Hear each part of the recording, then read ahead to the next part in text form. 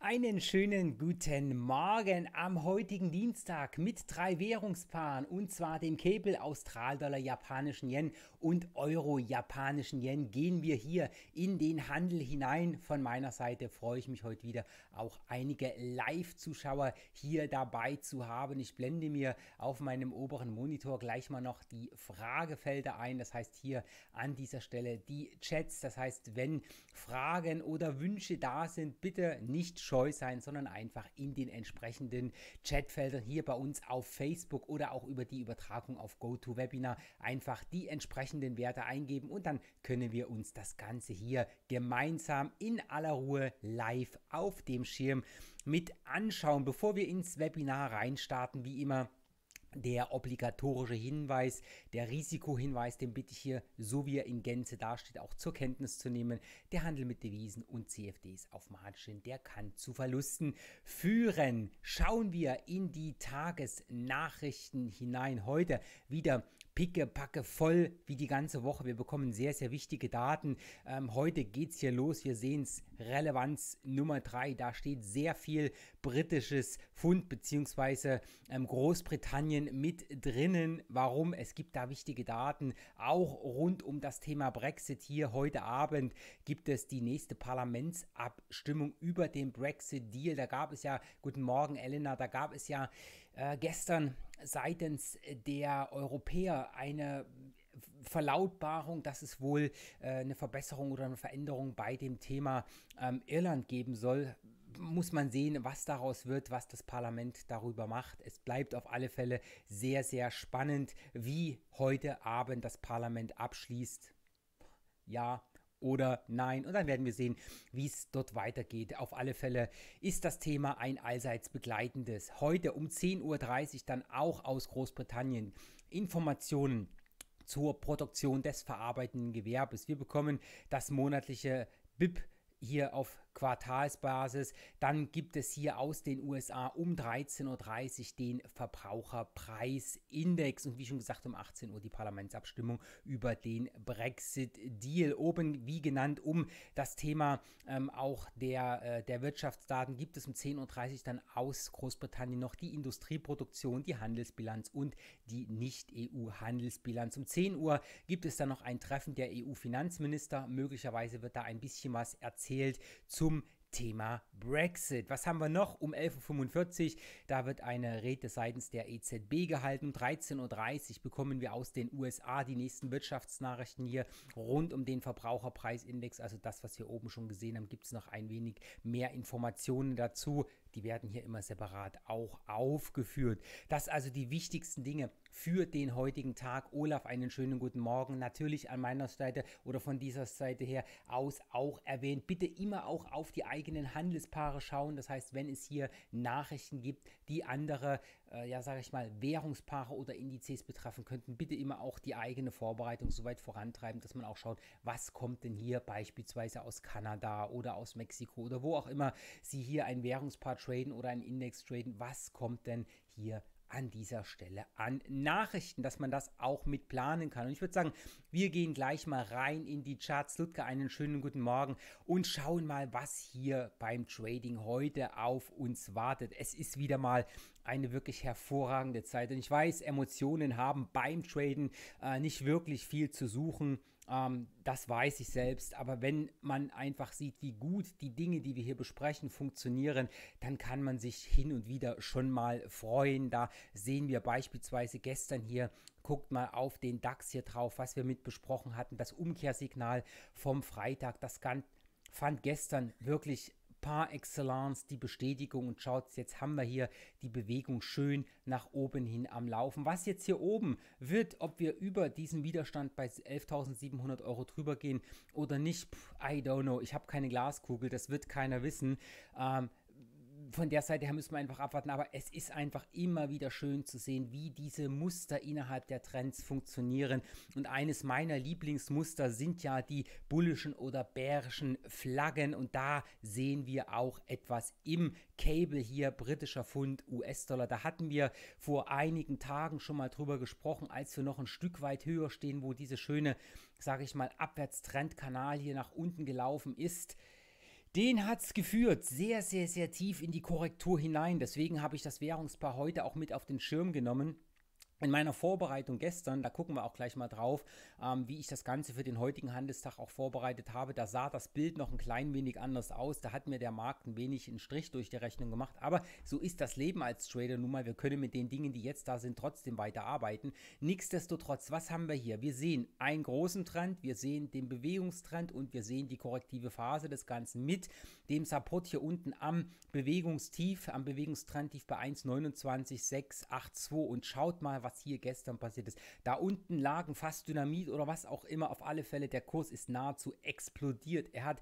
den Trend nach oben hin gebrochen und ist extrem dynamisch hochgelaufen, hat kurz korrigiert und hat dann hier heute Morgen oder in der Nacht das Ganze einfach brutalst nach oben weggeschoben. Mein Plan war es eigentlich hier aus der Trendfortsetzung der Stunde die Position zu eröffnen und oben diese Ziele, die ich hier auch reingemacht habe, wo der Markt reinlaufen könnte, aus dem Stundentrend mit abzufischen. So what? Es ist passiert, was passiert ist. Der Markt schnäpste hoch, aber das ist alles überhaupt kein Problem. Aktive Trader können ja auch auch aus Korrekturen heraus handeln. Das heißt, wenn wir uns das Ganze jetzt mal in der Stunde mit anschauen, dann sehen wir, was hier passiert. Wie schon gesagt, gestern kam hier wirklich schön diese dynamische Aufwärtsbewegung. Hier nochmal kurz die Korrektur und den Markt schiebt es halt hoch. Und jetzt sehen wir gerade wieder, just in dem Moment geht so ein bisschen die Korrektur hier zu Ende und der Markt strebt schon wieder nach oben. Das heißt, wir haben ja nach oben hin noch etwas Luft, zumindest erst einmal bis zum Korrektur hoch beziehungsweise bis zum Trendhoch, was wir hier oben stehen haben. Das hatte ich ja mit eingekreuzt auf dem Tageschart und darüber hinaus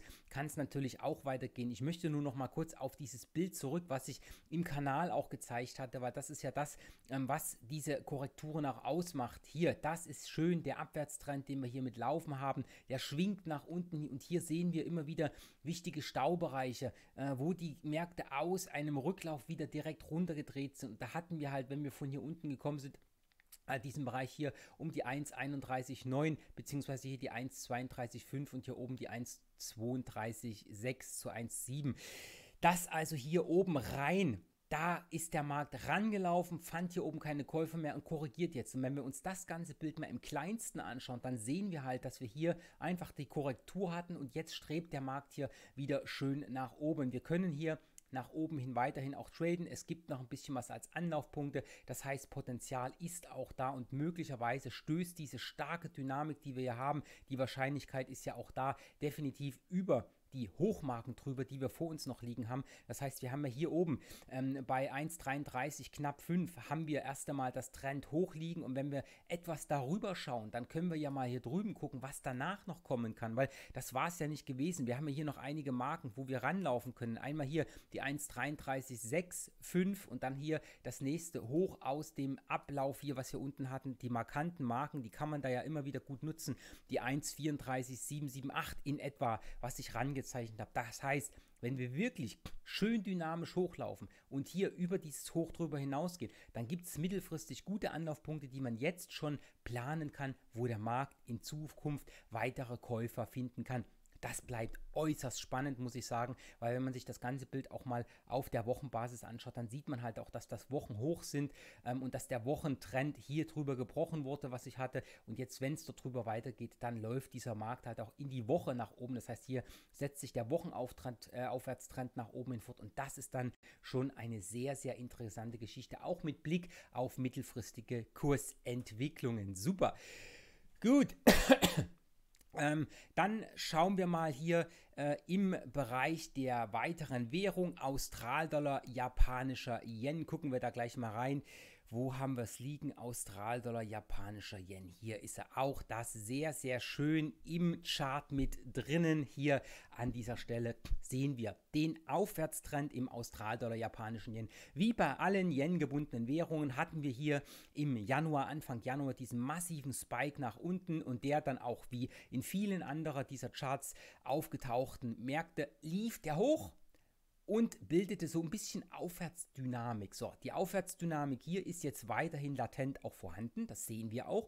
Der Markt will nicht wirklich runter. Wir haben hier unten einen Supportbereich ungefähr um die 77,6 und hier oben haben wir einen Deckel momentan drauf bei Marken von 79,8. Das hier in diesem Falle das Schöne da an dieser Stelle. Das ist das, was wir jetzt haben. Und jetzt sehen wir hier, einen schönen, schönen Punkt, wo wir sagen können, Inbound, äh, In-Range Trading funktioniert hier momentan hervorragend. Heißt also, man kann hier mit diesem Chart verschiedene Dinge auch kombinieren, ähm, wo ich sage, hier müssen wir jetzt einfach mal schauen, dass wir hier einen guten Zeitpunkt erwischen, weil wir haben das Umkehrsignal, das ist gestern hier, das ist vorgestern gekommen, also am Freitag.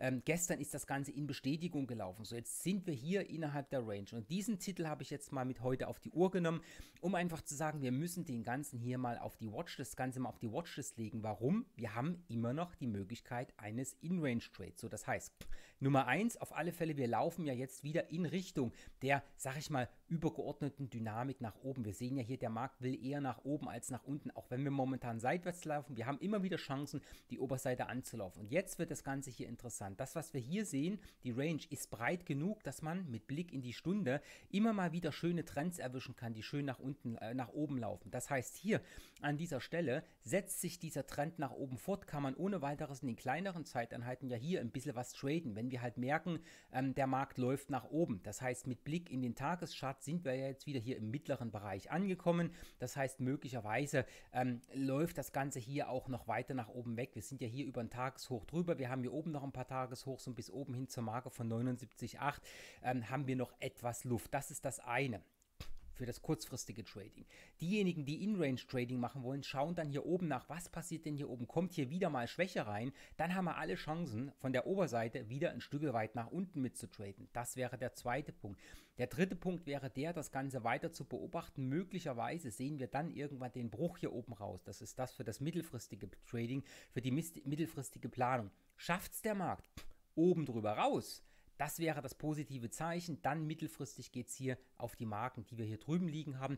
Das ist noch etwas Geschichte, aber alles steht bevor. Schafft es der Markt allerdings nicht, weil wir jetzt hier wieder im mittleren Bereich angekommen sind, weiter nach oben zu laufen und kommt hier mit Schwäche rein, dann ist was anderes Interessantes da. Also wir sehen, hier fließen einige interessante Sachen zusammen. Hier, schaut mal, was wir dann haben. Wir haben ja jetzt, naja, das ist ein bisschen jetzt versprungen, aber gut, es kommt, wie es kommt. Hier hatten wir das hoch. So, jetzt haben wir, guck mal, was wir hier haben.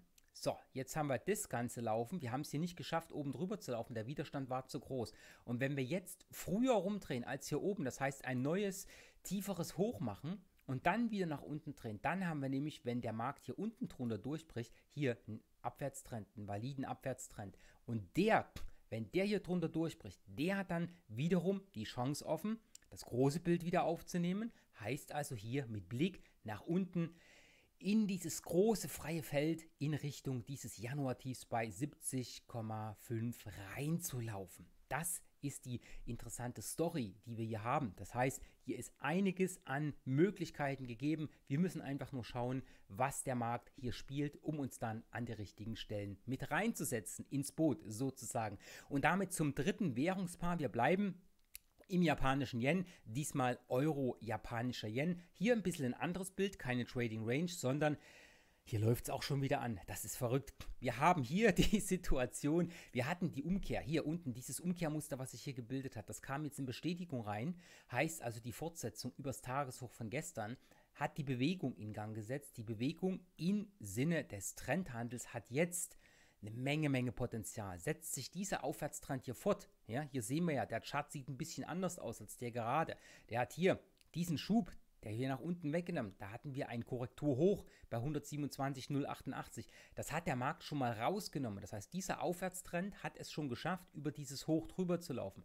Ist zwar wieder abgedreht, aber das ist kein Problem. Der Trend ist weiter aktiv. Wir kommen weit von unten raus. Potenziale nach oben hin. Sehr, sehr interessant. Hier das Tageshoch von, was ist das, letzte Woche Donnerstag, glaube ich, bei 126,448. Dann haben wir hier noch ein Tageshoch. Was haben wir hier als Hoch? Die liegen so eng beieinander. Da kann richtig Dynamik reinkommen. Das Hoch hier bei 126,533. Dann haben wir hier schon das nächste Tageshoch bei 126,935. Und dann haben wir schon den Bereich hier oben am aktuellen Trend durch. Das heißt, da ist einiges da, was diese Bewegung nach oben hin beschleunigen könnte, wenn hier Käufer mit Orders entsprechend warten, im Sinne dieses aufwärtsgerichteten Trends. Und das ist das, was wir hier sehen. Und das Schöne sehen wir halt auch im Stundentrend, wenn wir uns das mal anschauen. Wir haben hier hervorragend laufen einen schönen Aufwärtstrend. Ja? Der läuft, der schwingt sich schön nach oben mit rein, läuft hier, setzt sich jetzt in Kürze fort, wenn wir hier drüber laufen. Und hier sehen wir, wenn wir das Ganze etwas kleiner scrollen, dass der Markt hier, hier hat er schön nach unten geschwungen und da sehen wir auch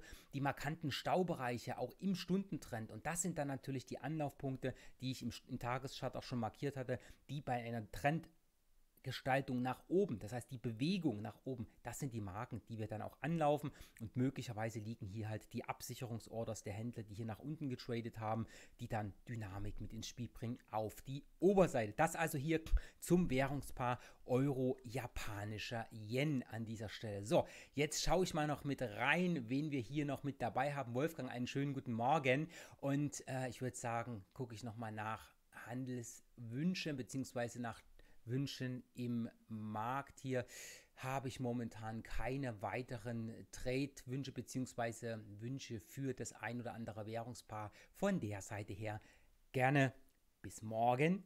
Spätestens um 8 Uhr gibt es wieder den Blog-Eintrag mit drei interessanten Charts aus meiner Sicht. Und um 8.30 Uhr treffen wir uns gerne hier an gewohnter Stelle wieder zur Besprechung unserer Live-Ideen. Bis dahin allen einen schönen, erfolgreichen Handelstag. Bis morgen. Tschüss.